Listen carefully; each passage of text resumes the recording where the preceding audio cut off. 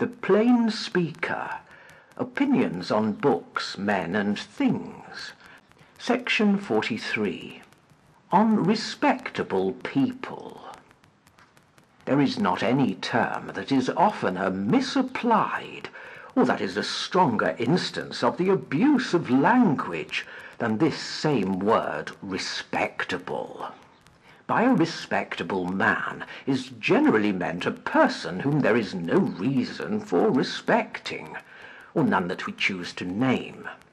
For if there is any good reason for the opinion we wish to express, we naturally assign it as the ground of his respectability. If the person whom you are desirous to characterise favourably is distinguished for his good nature, you say that he is a good natured man. If by his zeal to serve his friends, you call him a friendly man. If by his wit or sense, you say that he is witty or sensible. If by his honesty or learning, you say so at once. But if he is none of these, and there is no one quality which you can bring forward to justify the high opinion you would be thought to entertain of him, you then take the question for granted, and jump at a conclusion by observing gravely that he is a very respectable man. It is clear, indeed, that where we have any striking and generally admitted reasons for respecting a man, the most obvious way to ensure the respect of others will be to mention his estimable qualities. Where these are wanting, the wisest course must be to say nothing about them, but to insist on the general inference which we have our particular reasons for drawing, only vouching for its authenticity. If, for instance, the only motive we have for thinking or speaking well of another is that he gives us good dinners, as this is not a valid reason to those who do not, like us, partake of his hospitality, we may, without going into particulars, content ourselves with assuring them that he is a most respectable man. If he is a slave to those above him, and an oppressor of those below him, but sometimes makes us the channels of his bounty, or the tools of caprice, it will be as well to say nothing of the matter, but to confine ourselves to the safer generality, that he is a person of the highest respectability. If he is a low, dirty fellow, who has amassed an immense fortune, which he does not know what to do with, the possession of it alone will guarantee his respectability if we say nothing of the manner in which he has come by it, or in which he spends it. A man may be a knave or a fool, or both, as it may happen, and yet be a most respectable man, in the common and authorised sense of the term, provided he saves appearances, and does not give common fame a handle for no longer keeping up the imposture. The best title to the character of respectability lies in the convenience of those who echo the cheat, and in the conventional hypocrisy of the world. Any one may lay claim to it who is willing to give himself airs of importance, and can find means to divert others from inquiring too strictly into his pretensions. It is a disposable commodity not a part of the man, that sticks to him like his skin, but an appurtenance, like his goods and chattels. It is meat, drink, and clothing to those who take the benefit of it by allowing others the credit.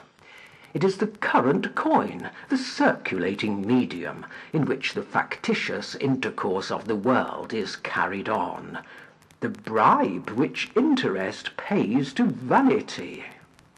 Respectability includes all that vague and undefinable mass of respect floating in the world, which arises from sinister motives in the person who pays it, and is offered to adventitious and doubtful qualities in the person who receives it, it is spurious and nominal, hollow and venal. Suppose that it is to be taken literally, or applied to sterling merit, would betray the greatest ignorance of the customary use of speech. When we hear the word coupled with the name of any individual, it would argue a degree of romantic simplicity to imagine that it implies any one quality of head or heart, any one excellence of body or mind, any one good action or praiseworthy sentiment. But as soon as it is mentioned, it conjures up the ideas of a handsome house with large acres round it, a sumptuous table, a cellar well stocked with excellent wines, splendid furniture, a fashionable equipage, with a long list of elegant contingencies. It is not what a man is, but what he has, that we speak of in the significant use of this term. He may be the poorest creature in the world himself, but if he is well to do, and can spare some of his superfluities, if he can lend us his purse or his countenance upon occasion, he then buys golden opinions of us. It is but fit that we should speak well of the bridge that carries us over, and in return for what we can get from him, we embody our servile gratitude, hopes, and fears in this word respectability. By it we pamper his pride, and feed our own necessities. It must needs be a very honest, uncorrupted word that is the go between in this disinterested kind of traffic. We do not think of applying this word to a great poet or a great painter, to the man of genius or the man of virtue, for it is seldom we can sponge upon them. It would be a solecism for any one to pretend to the character who has a shabby coat to his back, who goes without a dinner, or has not a good house over his head. He who has reduced himself in the world by devoting himself to a particular study, or adhering to a particular cause, occasions only a smile of pity or a shrug of contempt at the mention of his name; while he who has raised himself in it by a different course, who has become rich for want of ideas, and powerful from want of principle, is looked up to with silent homage, and passes for a respectable man. The learned pate ducks to the golden fool. We spurn at virtue and genius in rags, and lick the dust in the presence of vice and folly in purple. When Otway was left to starve after having produced Venice Preserved, there was nothing in the frenzied action with which he devoured the food that choked him, to provoke the respect of the mob, who would have hooted at him the more for knowing that he was a poet. Spenser kept waiting for the hundred pounds which Burleigh grudged him for a song, might feel the mortification of his situation, but the statesman never felt any diminution of his sovereign's regard in consequence of it. Charles II.'s neglect of his favourite poet, Butler, did not make him look less gracious in the eyes of his courtiers, or of the wits and critics of the time. Burns's embarrassments, and the temptations to which he was exposed by his situation, degraded him, but left no stigma on his patrons, who still meet to celebrate his memory and consult about his monument in the face of day.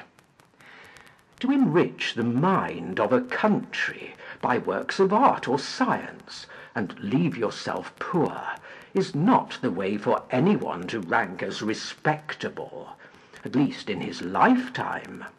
To oppress, to enslave, to cheat and plunder it, is a much better way. The time gives evidence of it. But the instances are common. Respectability means a man's situation and success in life, not his character or conduct. The city merchant never loses his respectability till he becomes a bankrupt. After that we hear no more of it or him.